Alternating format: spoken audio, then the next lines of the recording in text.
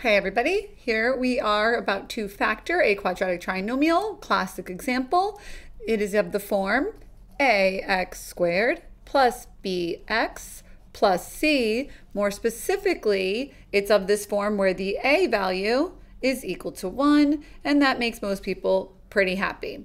So if we're going to do this, we could kind of do a little bit of our AC method, which means you're multiplying a and c, which will give us 30. You list off your pairs of factors that multiply to give you 30. I'm going to go in order 1 and 30, 2n 15, 3n 10. 4 does not go. To check 4, you could double 2 to make 4. That means you would cut 15 in half. And since 15 is odd, you can't. So that's how you know it doesn't work. 5 and 6. And we're done because the next number 6, it's already on the list. We're good.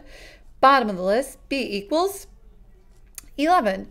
So now what we want to know is which pair of numbers we're going to use for factoring. Now, a couple quick tricks. If this is a plus sign right over here, that means when all is said and done and we're factored, that both of our factors, both binomials, will be um, um, combined, you know, the two pieces of the binomial will be combined with plus signs. If this is a plus sign, but that one is a minus sign, that means they will both be minus signs. And if that's a minus sign, I don't care what that is, you'll have one of each. All right, so if you need that in your notes, ax squared plus bx plus c, both plus, both parentheses will have a plus. Oops, kind of cut off. There we go. Sorry. Uh -uh, there we go. If ax squared is minus bx plus c, both parentheses will be minus.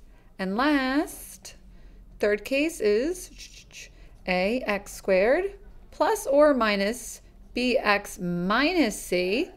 That means you'll have a plus and a minus, and you got to be a little bit more, you know, thinking on your on your feet to figure it out. So let's get through this because my dog wants to go outside. So I am going to have two plus two positive numbers and I need them to add to give me 11 and I see them right over here. If you're going to do this the fast way, x squared, we don't have a lot of options. What multiplies to give us x squared? x and x. Here's the 5 and the 6. Boom. When does this trick work? Only when a is 1. However, if you're accustomed to grouping, you go ahead with x squared plus 5x plus 6x. You use the 5 and the 6 to split the middle.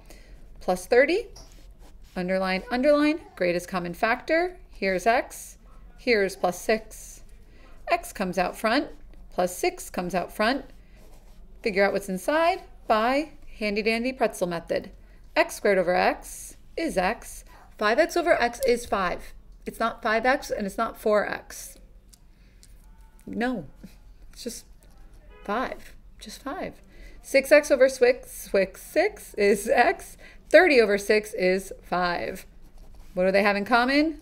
They both have an x plus 5. Factor that out front. If I pull that out front, what's left is x plus 6. You get the same answer either way. I hope you liked that example. I hope you got it right. I hope you feel smart. I hope you know that you could check it with FOIL or distribution and get back the original problem. You know you're in good shape. So if you're smart, thumbs up. If you're struggling at the moment, put a thumbs down and click through for the next example. Adios.